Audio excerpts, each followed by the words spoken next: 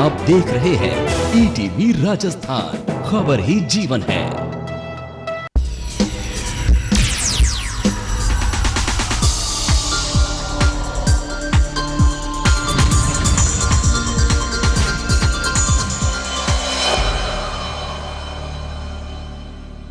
नमस्कार। खास मुलाकात में आप सभी का बहुत बहुत स्वागत है। आज हमारे साथ हैं आर्ट ऑफ़ लिविंग फाउंडेशन की इंटरनेशनल फैसिलिटेटर राज लक्ष्मी रतन जी। राजिमा आपका बहुत बहुत स्वागत हमारे कार्यक्रम में। बहुत सारे सवाल हैं आपसे। ओके लेकिन ना जो आपने भगवत गीता पे इतना कार्य किया है और कार्य इस तरीके से कि बाहर भी लोगों को भी समझाने में और एक आपने अपने अंदरूनी भी बहुत कार्य करा है। हाँ। तो सबसे पहले तो मैं आपसे ये पूछना चाहूँगी क्योंकि ये चीज़ आज के दिन एक बहुत गहमा गहमी के माहौल में है कि क्या भगवत गीता हर धर्म से परे है? इज़ इट बियॉन्ड रिलीजन हाँ ज़रूर ज़रूर वो वो ज़िंदगी से जुड़े हैं और ज़िंदगी सारे लोग जी रहे हैं। मज़हब है या नहीं? ज़िंदगी तो सबका है। तो ज़िंदगी वो मज़हब के साथ जी रहे हैं या बिना जी रहे हैं? और किस मज़हब से साथ जी रहे? हैं वो अपना अपना बट ज़िंदगी ही ज़िंदगी है। तो उस ज़िंदगी के बारे में गीता में कहे गए तो वो ज़िंदगी कैसा?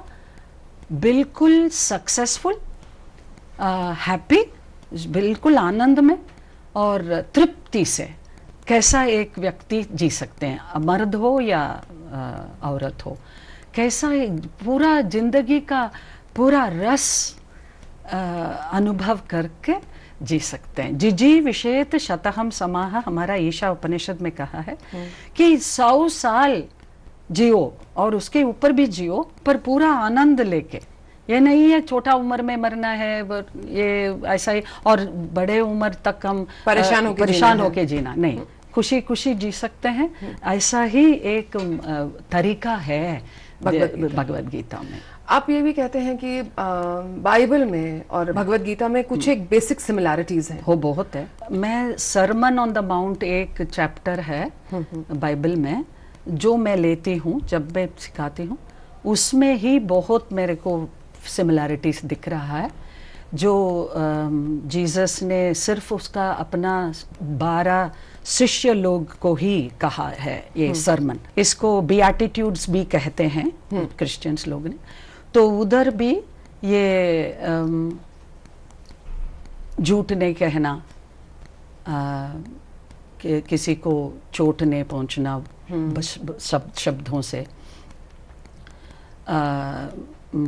धोखा नहीं देना adultery do not commit adultery वो जो लोग वो लोग कहते हैं दस कमांडमेंट्स वही उसको कितना विस्तार से उसमें बताया है। तो naturally- हाँ सेम कृष्णा ने अपना हमारा ये गीता में भी वही दोहराया है कि जो दूसरों से हम उपे, अपेक्षा रखते हैं वो पहले खुद वही खुद करना है। मुझे कई बार ऐसा लगता है कि आज के दिन जब हम लोग विश्व को देखते हैं केवल भारत को नहीं हाँ। तो एक एक युद्ध छिड़ा हुआ है धर्मों में कि कौन सा धर्म उच्च का है।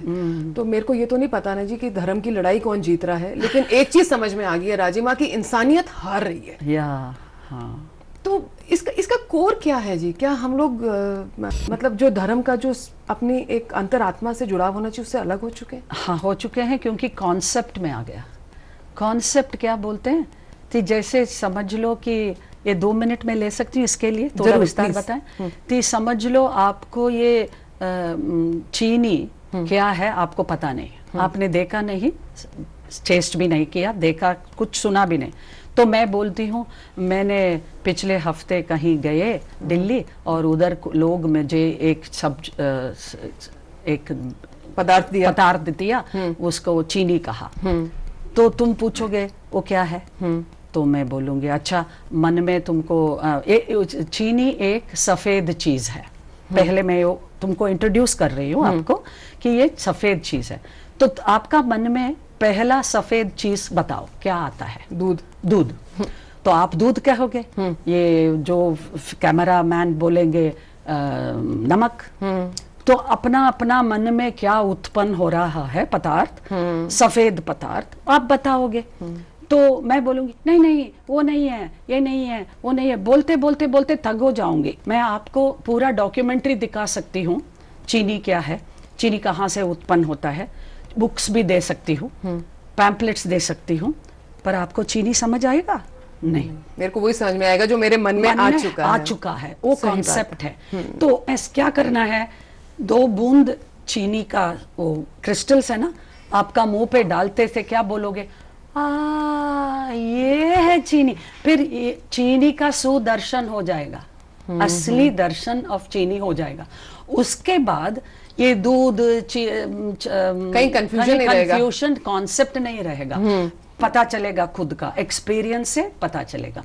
तो धर्म धर्म रिलीजन कॉन्सेप्ट ऑफ़ गॉड में चर्चा होगा। कॉन्सेप्ट निकाल के अनुभव होता है। फिर चर्चे का जगह ही नहीं। उसके बाद तुम आपके मेरे साथ आप चर्चा नहीं करोगे। नहीं नहीं वो ऐसा ही है ऐसा ही है आप नहीं बताओगे। आप समझ जाएँगे। जो चीनी मैं बोल रही हूँ वही चीनी आपको भी समझ आएगा। बिल्कुल सही बात है। ये आज आपने एक बहुत अच्छे तरीके से समझाया। और इसी से मेरा अगला प्रश्न जुड़ा हुआ है राजिमा की गुरु की क्या महत्वता है हमारी ज़िंदगी में? और क्यों होता है कि अक्सर लोग ऐसी कौन सी कमी होती है बाहर के एनवायरनमेंट में या उनके अंदर, कि वो एक ऐसे गुरु को चुनते हैं जो उनको सही राह नहीं दिखा पाता और क्या वो गुरु हैं? गुरु की महत्वता, लेकिन एक छोटे से ब्रेक के बाद, हम ब्रेक के बाद अभी वापस आते हैं, आप लोग देख रहे हैं खास मुलाकात। ब्रेक के बाद आप सभी का स्वागत है। गुरु की जगह हमारी ज़िंदगी में, शायद भारत संस्कृति में हर कोई जानता है। लेकिन आज के दिन कई बार ऐसा लगता है राजिमा की मतलब गुरु चुन भी लिया वो पता चला जी गुरु ही जेल में चला गया। तो हमारी कमी है। हाँ जी हम गुरु के देखो हमारा संस्कार में क्या है? एक ज्योग्राफी पढ़ने के लिए भी एक गुरु चाहिए। सही बात है। स्विमिंग सीखने के लिए ड्राइविंग सीखने के लिए अ, किसी को कोई सिखाना है हमको हम हमसे बेहतर है। तो हम क्या करते हैं? ड्राइविंग लेसन के लिए जाके उससे आत्मीयता का एक्सपेक्ट अपेक्षा नहीं रख सकते। हैं सही बात है। है कि नहीं? तो गुरु गुरु गुरु है डॉक्टर डॉक्टर डॉक्टर है। कोई डेंटिस्ट है कोई डेंटिस्ट के पास जाके हम आँख के बारे में कैसा पूछ सकते हैं? फिर उसमें कमी कैसा बोल सकते हैं? आपका क्या अपेक्षा है? किस लिए जा रहे हैं? लोग ये clarity नहीं है कि हम जा क्यों रहे क्यों हैं। रह रहे हैं? ऐसा ही क्या जा रहे हैं? If they know it is for health को ठीक करने के लिए बच्चों को बचाने के लिए, पैसा कमाने के लिए, और पैसा कमाने के लिए then that is all they will get पर जो लोग आत्मीयता, सिर्फ़ और आत्मीयता के लिए जाते हैं, वैसा ही गुरु उसको मिलता है। तुम्हारा मांग की जैसा अपन जैसा माँगता है वैसा होती है वैसा मिलता है। बहुत सही राजीव तो क्या मांगते हो वो? पहले वो तो क्लैरिटी लाए हम। लाए फिर उसके हिसाब से गुरु मिलेगा। जो आपने कहा कि भी बच्चों के लिए मांगते हैं। आज के दिन अगर हम लोग कहते हैं कि बच्चे हमारे जीवन में सुख देते हैं तो जी मैं आपसे और सभी माता पिता से बिल्कुल जी माफ़ी मांगते हुए कहती हूँ जी सबसे ज़्यादा टेंशन भी देते। हैं है ना? अभी एग्ज़ाम का सीज़न खत्म हुआ है। आप माताओं की हालत देख लीजिए बताओ कि मतलब इतना स्ट्रेस है हमारी लाइफ में बच्चों को लेके।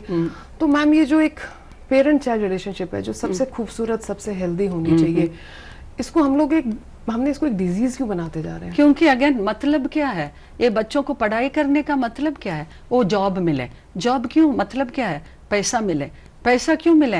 वापस शादी करने का वापस बच्चे पैदा करने। क्यों? अगेन पैसा क्या तो सारा इशारा कहाँ हो रहा है? पैसे के लिए। और मैं तुम पड़ोसी से ज़्यादा बड़ा बंगला बनाना है। hmm. दो गाड़ियाँ बढ़तर बनाना है। Expectations it's about money and possessions it's not about child is progressing spiritually in life कभी वो उसका मकसद ये नहीं है तो किसी का। सब पैसा का मकसद है। देखो मैम मैं हमेशा ये कहती हूँ कि मैं ना जनता की आवाज़ हूँ। और हमारी अभी मेरे को ना चिक चिक के लोग ये कह रहे हैं कि राजीमा ने तो बोल दिया स्पिरिचुअलिटी हाँ। बच्चे की प्रोग्रेस करना ये होना चाहिए हाँ। तो बोले भैया यहाँ दाल रोटी से फुर्सत नहीं है और बच्चा क्या कमाएगा नहीं तो खाएगा क्या इतनी आबादी है मैम कमाना सिर्फ़ दाल रोटी के लिए नहीं है हलवा के लिए ज्वेलरी के लिए Jaipur jewellery Lucknow jewellery Tamil Nadu jewellery jewellery collect कर रहे हैं साड़ियाँ बुटीक साड़ियाँ कलेक्ट कर रहे हैं। आप ये कह रही हैं कि ज़रूरत के लिए बच्चा बहुत कर लेता है ये हमारी एक्सपेक्टेशंस कभी पूरी नहीं हो सकती। करेक्ट बिल्कुल सही बिल्कुल सही ये कह रही हैं। मैम इसमें एक और एक त्रिकोण मैं जोड़ देती हूँ अभी तक तो पेरेंट चाइल्ड था। और अब मैं जी ले आती हूँ टीचर्स ओके ठीक है? हाँ सो अगेन मैं ये मानती हूँ कि ये जो तीन है टीचर और स्कूल को मैं इकट्ठा ले रही हूँ हाँ। पेरेंट को ले रही हूँ। और चाइल्ड को ले ये हूँ आप खुद एक-. हाँ अध्यापिका रह चुकी हैं। तो इनमें भी मतलब लॉगर हेड्स हैं। मतलब बच्चा है उसे पूछो तो वो बड़े क्लोज रहता है कि टीचर से भी बिल्कुल वो देखिए बच्चा सिर्फ़ टीचर से प्यार करता है दूसरी कक्षा तक उसके बाद नहीं करते। ठीक है ना? अनफॉर्चुनेटली पेरेंट्स के लिए भी ट्रू हो गया। Right Right. और पेरेंट्स का वो है पेरेंट्स यूँ सोचते हैं कि भैया टीचर्स तो हमारे स्कूल तो हमारा दुश्मन है। टीचर्स का ये हाल हो गया वो सोच रहे भैया पेरेंट्स हमारे साथ कुछ करना ही नहीं चाहते हैं। तो मेरे को लगता है सारे टसल में ना the sufferer is the child correct तो ma'am single one point agenda Right. है ना राइट Right. क्योंकि अगेन बहुत वास्ट टॉपिक है लेकिन Right. आपकी इतनी बुद्धिमत्ता से मैं आपको बोलूँगी कि एक चीज़ आप हमें बताइए कि क्या एक बेसिक हम लोग प्रिंसिपल लेके चलें जिससे कि ये वाला स्ट्रेस फैक्टर हमारा डाउन रहे ये जब मैं टीचर थे दिल्ली में मैंने टीचर पेरेंट टीचर इंटरव्यू में ज़्यादा टाइम लेते थे पेरेंट्स से बात करने का और बोलते थे देखो हम भी दुश्मन नहीं है आप भी दुश्मन हम दोनों का एक ही मकसद है कि ये बच्चा को अच्छा सक्सेसफुल बना। तो इसके लिए हम क्या कर सकते हैं? आपका एजेंडा बता दो मेरा एजेंडा बता दूँगी। और ये दोनों कहाँ मिल रहा है? नहीं मिडिल पाथ तो ढूंढेंगे। क्योंकि हमारा दोनों का ख्याल है कि ये बच्चा अच्छा बने।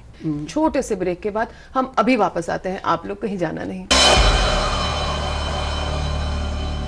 ब्रेक के बाद आप सभी का स्वागत है। हमारे घर में हमारे दादा दादी नाना नानी हमारे माँ बाप जो हमारे घर के बुज़ुर्ग हैं उनका आशीर्वाद के बिना हम ज़िंदगी में कुछ नहीं बन सकते। लेकिन अक्सर हम लोग देखते हैं कि बहुत सारे कारणों से वो लोग खुद खुश नहीं रह पाते। हमारा फ़र्ज़ हमको अच्छी तरह पता है, वो मैं आज आपको बताना ज़रूरी नहीं समझती।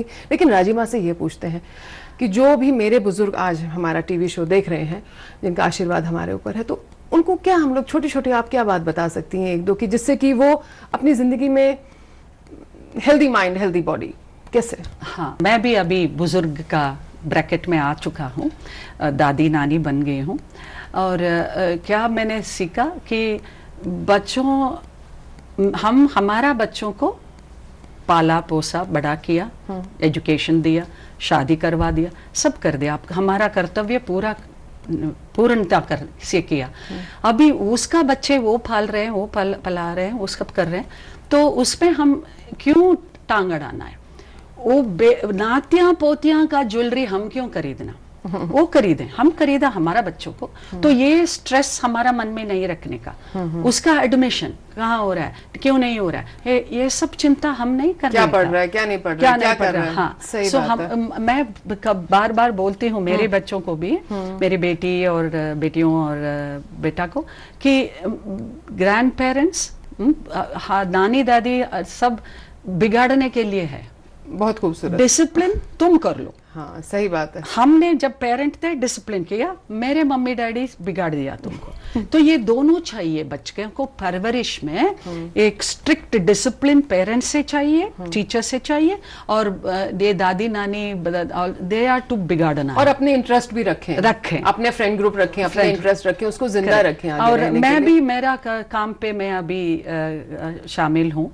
पूरा दुनिया घूमती हूँ। ओपिनियंस तो होगा। But opinions we are not फिर concept वाले point पे आ गए, ma'am. वाला। 100% तो या मेरा पति मेरे बच्चे मेरे साथ है सपोर्ट मेंटली सपोर्ट करते हैं कि मेरा काम मैं क्या कर रही हूँ। वो मेरे लिए अच्छा है फैमिली के लिए अच्छा है दुनिया के लिए अच्छा है। दुनिया के लिए अच्छा है। इससे जुड़ा हुआ मेरा अगला प्रश्न इसराइल के एक्सपीरियंस कैसा रहा? ब्यूटीफुल वेरी ब्यूटीफुल उधर इसराइल का लोग बहुत इंडिया से जुड़े हैं। अब बच्चे उधर 12 क्लास खत्म करके गर्ल और बॉय दोनों मिलिट्री स्कूल में शामिल होना है। उधर का रूल Compulsory है। है। वो दो साल तीन साल के हिसाब से करते हैं। उसके बाद सीधा इंडिया पहुँचते हैं। क्यों? इधर का सनातन धर्मा को सीखने के लिए। तरस के आते हैं इधर। फिर वो सब बहुत सीख के आते हैं। इवन हमारा म्यूज़िक क्लासिकल म्यूज़िक भी इधर बनारस में दो साल तीन साल शिक्षा लेके जाके उधर तानपुरा डाल के वो राग गाते हैं। मैंने बहुत देखा। वो बहुत धार्मिक लेकिन वहाँ पर इतना एक जो because of the constant unrest है। कॉन्सेप्ट बिकॉज़ द अगेन कॉन्सेप्ट बिकॉज़ तीन रिलीजन है। एक ही धार है।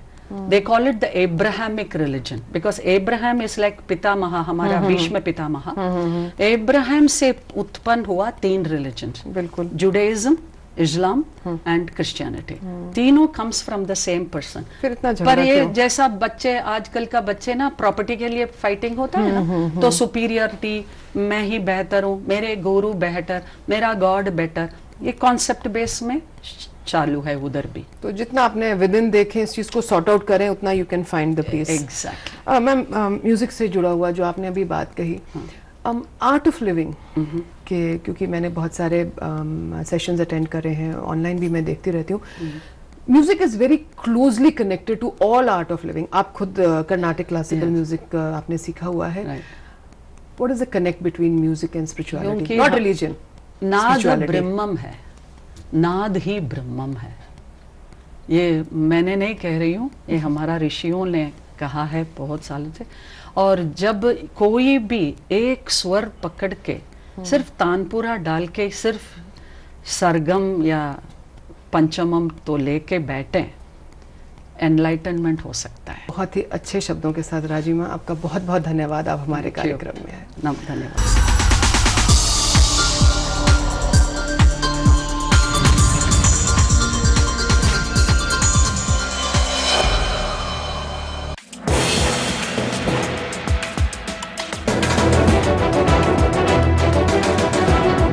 देख रहे हैं ईटीवी राजस्थान। खबर ही जीवन है।